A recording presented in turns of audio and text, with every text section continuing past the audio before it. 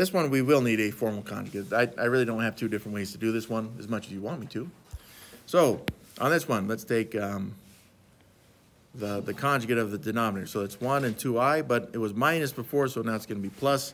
And if we do it to the denominator, we need to do it to the numerator as well. So it's all being multiplied.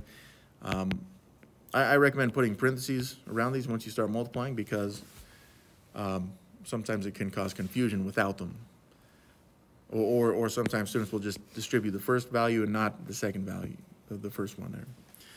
All right, so I'm gonna work, I want to just work in the denominator for now, so I hope that's okay. But in the past, I usually just work in the numerator first. It doesn't matter. You can work in the numerator first, denominator second, doesn't matter.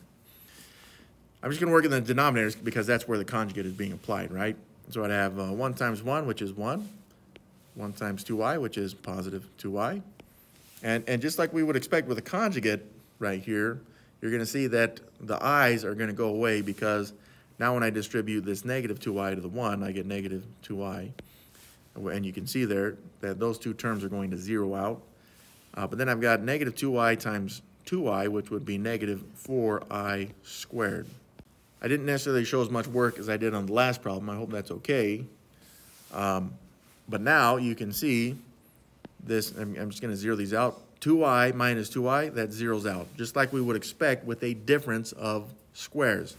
Because now, what I have is, I've got the one, I'm gonna work with this i squared here, because that would have been, that becomes a negative one, right? So I end up with one minus four times negative one, which is, um, one minus, well, it ended up being one, but uh, negative four times negative one would be positive four.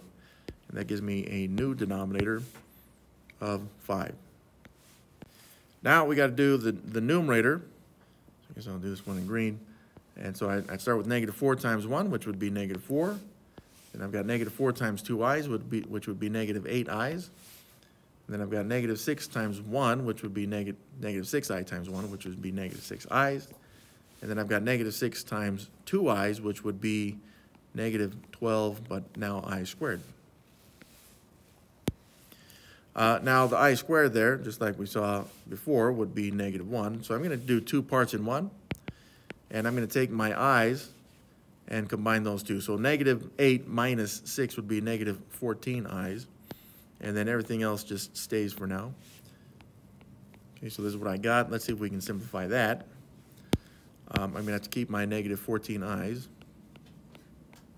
Um, oh, well, I should do that work as well. So negative fourteen i, uh, but, what have we got?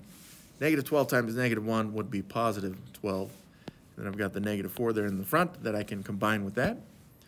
So negative four and positive twelve would give me positive eight. And then I've got my negative fourteen i's. Now, from what I remember, this format's okay. Right, like if you're like, hey, I just want to stop right there, you can.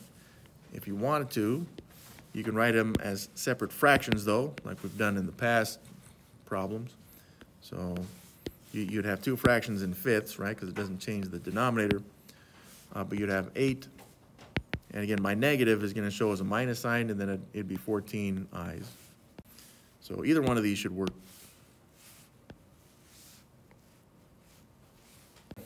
By the way, I don't usually do, I don't usually show it, like, if I know this can't be simplified, which I know it can't, then I don't usually worry about changing them into separate fractions. Um, But I believe the assignment will accept this, right? Because this is, it's just a little bit of extra work, and there's small mistakes that can happen between here and here, which I probably will do eventually.